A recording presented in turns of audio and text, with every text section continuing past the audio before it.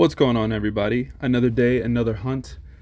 We are at my local Target, first stop of the day, checking out to see if they've got any decent uh, stuff or new restocks. This Target's usually pretty good. Um, I like it. It's close, so I always go there first, obviously. Um, nothing new as far as McFarlane pigs. Um, I mean, pretty much all the same stuff. It's pretty much been picked clean. That was new.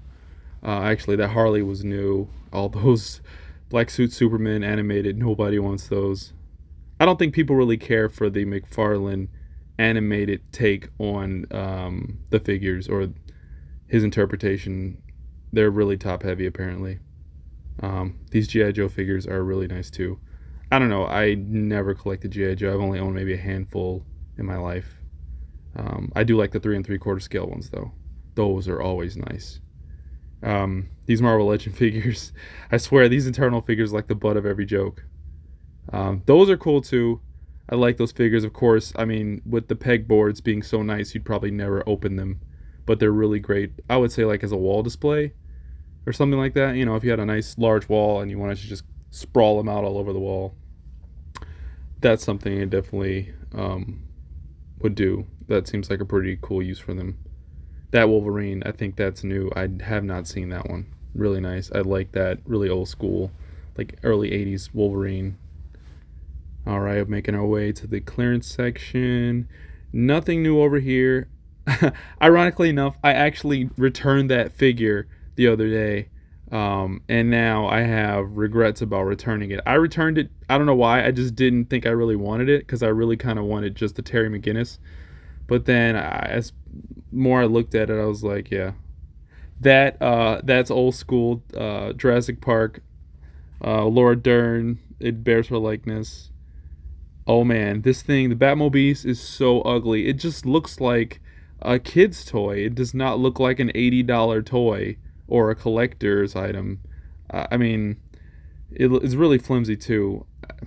I really can't complain because I mean, at least McFarlane's getting into vehicles, so hopefully we get some more stuff like Batmobiles and whatnot. I would love to see some more Batmobiles. Whatever whatever he can do. He's already done the 66 Batmobile. So I don't know what else he can do in store. Maybe maybe we'll even get the White Knight Batmobile. That would be awesome. All right, so over here we're making our way to the NECA section. As you can see, pretty much the standard stuff. Nothing's really been replenished. Still got haulathon bags. Still got plushies. Um, yeah, standard stuff nothing really stand out. All right, so as we're looking over here again, it's been pretty picked through. I see a lot of people putting the uh, McFarlane figures from the toy aisle over here a lot of the times, even though there are peg hooks for the McFarlane over here. But just a bunch of uh, Justice League flashes, which, eh, you know, whatever. And then I did find the Peacemaker, which is pretty cool. I think that now that I look at the likeness that they sculpted for John Cena on this model, it does look pretty good. Um, granted, it is definitely not as good as what Mattel was able to do with the wrestling figures, but it's still pretty good. All right, and let's see what else we got. Those Godzilla figures, or I should say figures. These giant scale gorilla, gorilla Godzilla figures are pretty nice. They, uh, I, I would think somebody would paint them and make them look way better and I do want to get into collecting Spawn figures. I think those Spawn figures are really nice. Um, yeah, and the Princess Bride. I think, uh, not the best work. I think that NECA probably would probably do a better job. To be honest with you, I'm not sure why uh, McFarlane got the license for Princess Bride, but I don't know. Maybe it was like a part of a deal or something. Anyway, uh, yeah, that's like I said, this aisle has been pretty picked through. Nothing, um, nothing stand out really. Honestly, it was kind of meh. Um, the Cygor, yeah, I that figure is gnarly. I don't. I'm gonna. I'm. I'm in the process of looking into a new shelf because I am running out of space to display things, um, especially working on the new studio space. Um, I definitely have to be efficient with the space those Flash Gordon Peg board box bleh. Mm. Again, those figures definitely need to come down in price. I do not I do not foresee anyone picking those up for the pri- the same price as their other figures at thirty two ninety nine with like one accessory. I'm not sure why they're priced like that. All right, so we're headed to this GameStop, which is right down the street from that Target. Um, granted, this is really close, so I just figured I'd stop by here and see what they had. The uh, manager was telling me that they had some new Star Wars stuff that just came in, but they did not get any new McFarlane uh, merch. So, yeah, so here we have some Star Wars stuff. Nothing really was too stand out. Um, again, the Eternals figures, and then also the Shang-Chi figures. And that, um, what was the brand? Can't remember the brand on that one. But that's like a, I think a four inch figure. Alien figure from the original movie. Pretty decent. Catwoman. Let's see what else we got. Yeah, just more Marvel Legends, Fantastic Four, uh, and then the original anime Spider-Man merch.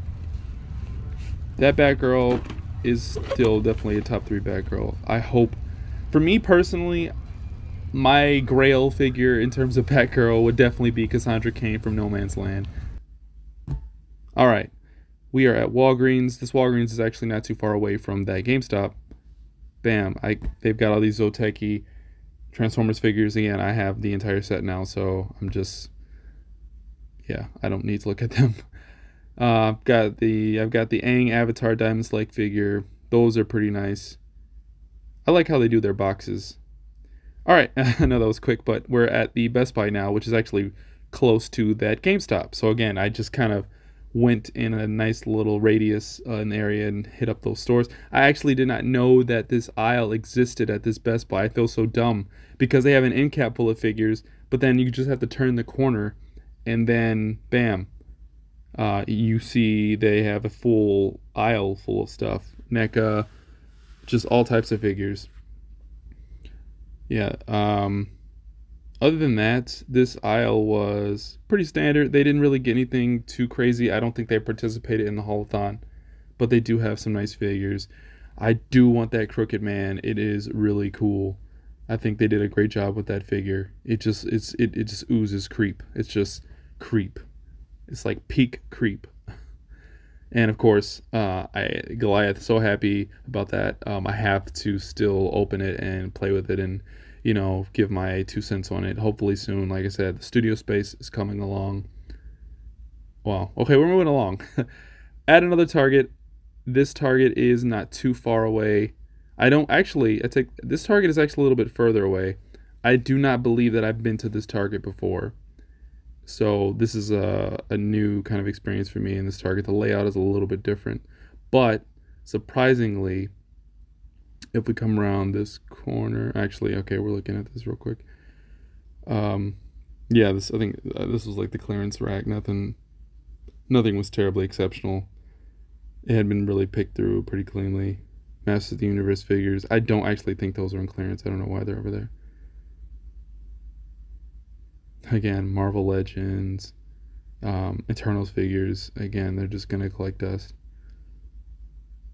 And wrestling. All right, these wrestling figures. Again, I am definitely a fan of the detail on these figures. Mattel does an excellent job with these figures.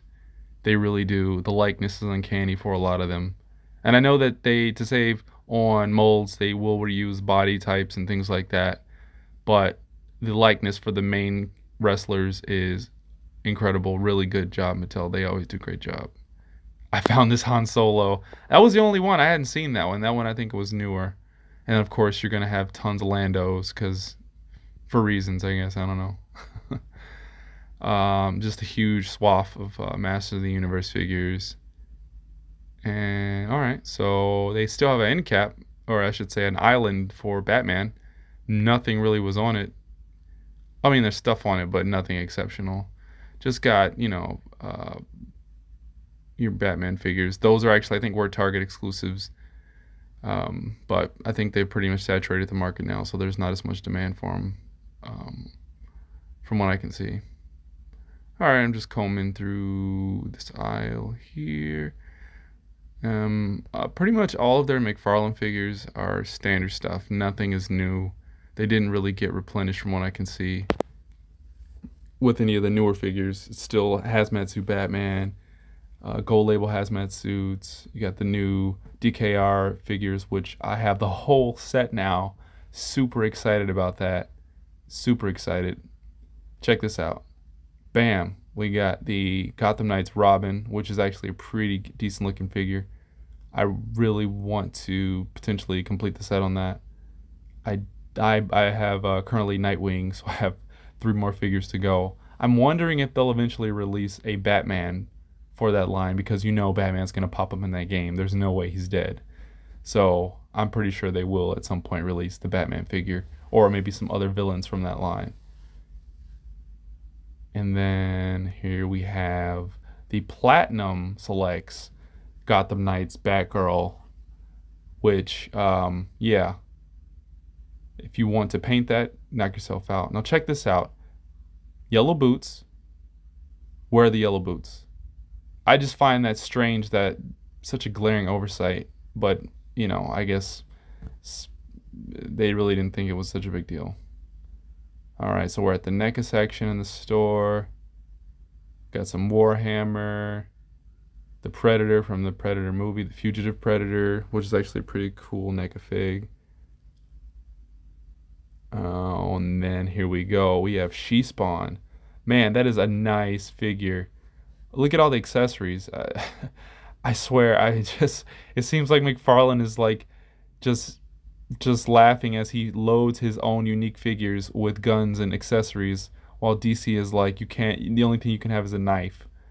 It's just really annoying. I cannot wait till those accessory packs roll out. I don't know what they're gonna consist of or how many there will be, but um, you know, I am definitely excited for those.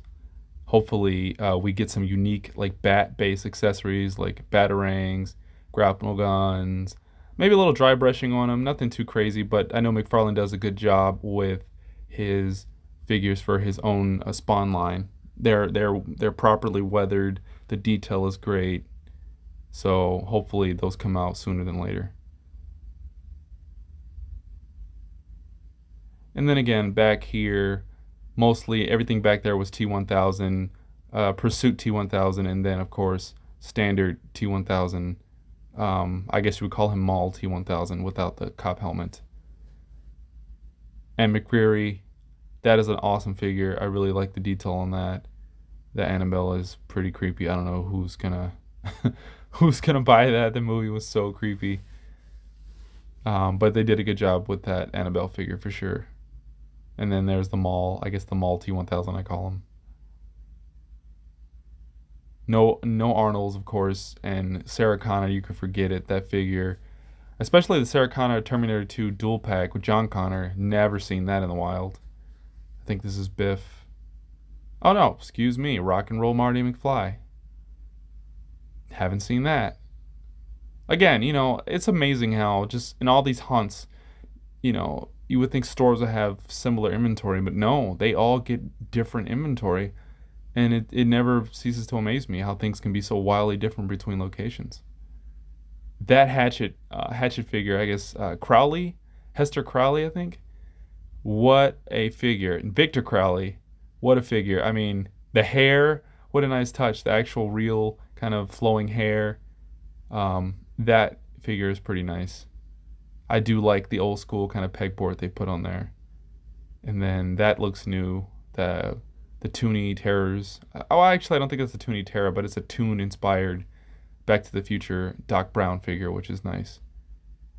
Um, I don't know if any of you out there collect uh, those Toon figures, but I think they're pretty nice. All right, and here's their NECA end cap, and check this out. I have not seen one of these in the wild. I personally love the Phantom. I'm a huge fan of the 1995 movie or 97 movie one of those years. Um, I do have the 85th anniversary edition Phantom, and I have yet to open the box, but I am very excited to do a review on it. I'm just waiting for, like I said, the equipment and everything to come in. But that figure, I I'm I just it just looks so good. The musculature of the sculpt, NECA did an excellent job. With those figures. Um, but I still think the 85th anniversary edition is definitely the superior one because it does have the dual guns, the the cool phantom tights. and then I also found this Halloween 3 3 pack, which is pretty creepy because if you've seen the film at all, you know what happens to those kids. And now we are at another Best Buy. Okay, we have Etrigan. Picked up an Etrigan the other day, and I also picked up the King Shazam. When those were on sale for like eight bucks, if you've seen my other videos. Um, Best Buy, that was a hell of a deal. Um, again, they have very similar inventory, nothing too crazy. And this is another end cap over here. That is an Assassin's Creed Valhalla figure, pretty decent in terms of detail. It's like 35 bucks. I'm sure an Assassin's Creed fan would probably love to have that. Personally, I haven't played the franchise seriously in like since Unity, so I I just don't care really much anymore. I don't know, my interest in video games is like so selective these days. I just never sometimes I don't have the energy to play, sometimes I do want to play. Um, and I just fall asleep. I guess that's part of being an adult, falling asleep in front of the TV. Um, again, Red Hood without guns. Just it's hilarious. I think that the trolling with the uh, shooty bang bang hands is hilarious.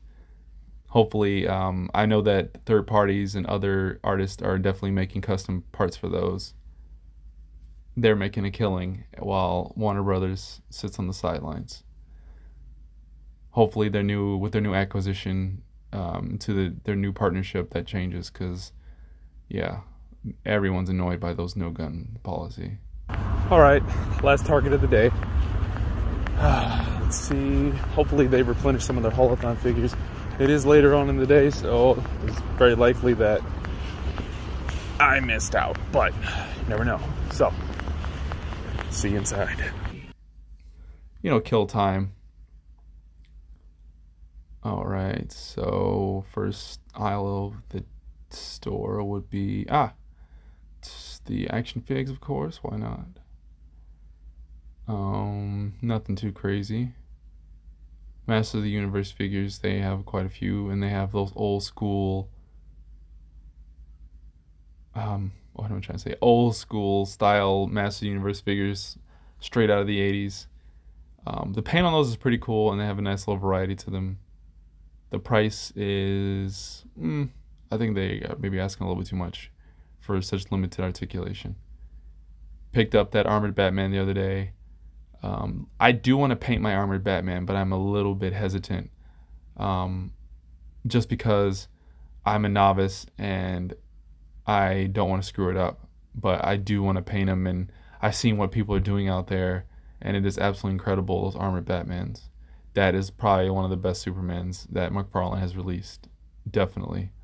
I don't think you really are going to find a better Superman right now on the line. Besides, I think that the DKR Superman is pretty good too. Okay, I take it back. DKR Superman is good. And we make our way to the NECA section. Tons of pops, of course, because you're always going to have tons of pops. I knew that I never could get into pops when I found the tricks pop. Because, why? Because you can, I guess, right? I have a good friend. He loves pops, and I usually will if I find a unique one, I'll buy it and I'll send it to them. Um, but for me, it's just pop hunting is so daunting. There're just so many. I mean, some people have thousands of pops, and it's just like, geez, where are you gonna put them all? You know, and of course, you can generally never take them out of the box.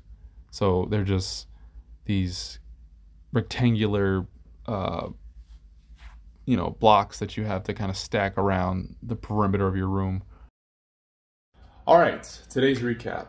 I went to four Targets, one Walgreens, and one Best Buy. Uh, initially, oh, and a GameStop. Initially, I wasn't going to really go all out today just because I felt like I had so much work to do with the toys that I've already gotten. I have uh, just a loads of things to do in general. Um, oh, and then also, I'm so scatterbrained. I stopped by uh, a really cool toy shop called Toy de Jour in Chicago. Really great shop. They have, I mean, everything, arranging from GI Joe to NECA TMNT. Uh, just they have like a section of Build a Fig parts. Really great place. Um, owner's really cool. And uh, one of my hauls today was good old Pinhead. Oh yeah. As you can see, if you check my Instagram, Marty just taking all the cool photos with him. Really great figure. Uh, I mean, it was complete. It was loose, but it's immaculate uh, in terms of its condition. This is definitely a standout. I didn't know this figure was this good. Uh, also, I all the targets I went to were not replenished on their haulathon uh, figures or any type of other merch. I mean, there was a few things, but nothing that was new. So I was kind of disappointed from that standpoint. But uh, hopefully by Friday, we should definitely see some new drops. Hopefully, I'm trying, still trying to get that Demona and still trying to get that Brooklyn so I can get the Goliath cape because that's probably the only way you're going to be able to get it. Uh, and then also today, my only other haul that I, well, the only other thing I picked up was this Todd McFarlane uh, inspired or designed Wonder Woman. Um, I had to pick it up. Review Spot did a review on it the other day, and he convinced me. When I saw it, I'm like, yeah, okay, it's really cool. It's probably one of the best Wonder Womans that they actually have put out, and hopefully soon I will do a review on this bad boy or bad girl. Um, yeah, so other than that, that is pretty much it for today. Please check out the Instagram. Uh, I also have a TikTok. If you get a chance, uh, check them out. Um, my girlfriend's really giving me a hand with all the social media plugs and everything like that, helped me set that up. So I'm really grateful for that. And yeah, so hopefully uh, this is actually the studio space for now. It's still a work in progress, but uh, hopefully soon it'll be a lot uh, better in terms of its condition to start shooting in here and whatnot. So I'm looking forward to that as well. So yeah, that is it. You guys have a great day and I'll check you on the next video. Peace.